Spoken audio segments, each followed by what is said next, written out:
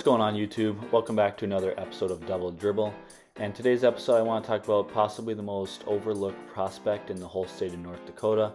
Uh, before we get in the video, I just want to quickly say if you're a fan of basketball, um, whether it be high school, college, or the NBA, make sure you hit that subscribe button, join the channel, join the conversation. Uh, we love to interact with you guys in the comments.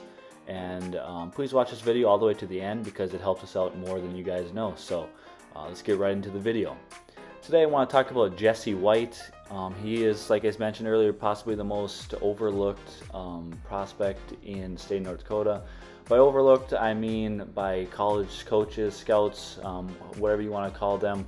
Um, I know people in the state of North Dakota and other um, basketball people have recognized how good of a player he is. However, I think he's not getting some of the looks that he deserves when it comes to uh, being recruited for college.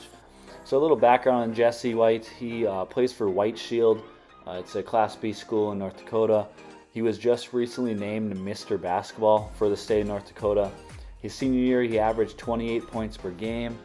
And also towards the end of the senior year, he um, became the second leading scorer of all time in North Dakota high school basketball history um, with 2,738 career points.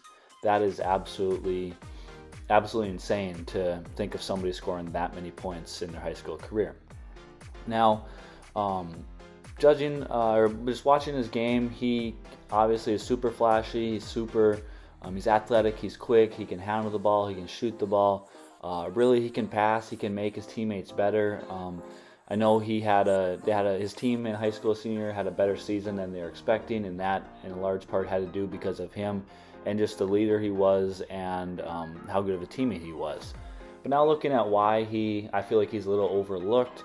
Um, I think it would be unfair to, to mention that he was born with a birth defect on his left hand, and basically he doesn't have full fingers on his left hand. I guess um, they're kind of kind of like nubs, I guess, for his fingers on his left hand.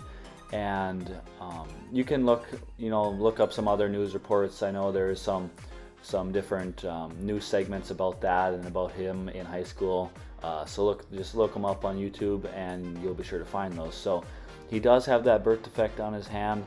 Along with that, he is only listed at 5'11", so um, he is a little, I wouldn't say undersized, but he's not, you know, the typical over six foot, you know, 6'2", 6'3", 6'4 shooting guard that a lot of uh, colleges are looking for. However, at 5'11", uh, point guard, shooting guard, he definitely should be able to play at a lot more schools than are looking at him.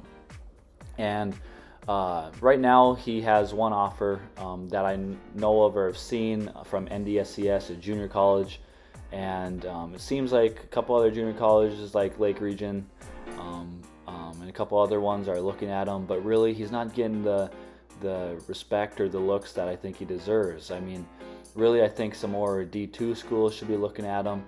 Uh, I think he could for sure play at the Division two level. However, uh, I think some coaches are kind of weary to look at him or bring him on because of you know these couple couple things that uh, might not be perfect about his game or about him, I guess, with his hand and being you know just a little undersized.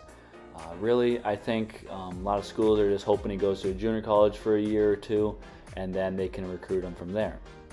If that's the case, I think Jesse will do just fine at junior college level. I think he'll he'll do really well, um, be there for a year or two, and then eventually, you know, uh, depending on how good those years are, but go D2 or um, who knows, maybe a mid-major, low-major D1. But really, for him, the sky's the limit. It seems like he's uh, super determined.